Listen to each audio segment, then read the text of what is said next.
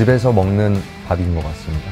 한국에서는 집밥이라고도 부르기도 하는데요. 가족의 손길과 집의 온기가 만들어낸 한 끼 식사를 하고 나면 몸도 마음도 든든해지는 기분이 듭니다.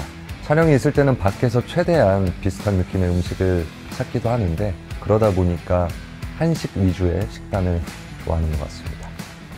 좋은 삶이란 어, 주변에 사랑하는 사람들과 그런 사랑의 온기를 느끼고 나누는 거라고 생각합니다. 주변에 사랑하는 사람들과 최대한 많은 감정들을 공유하고 사랑한다고 표현한다면 그거야말로 좋은 삶이라고 생각합니다.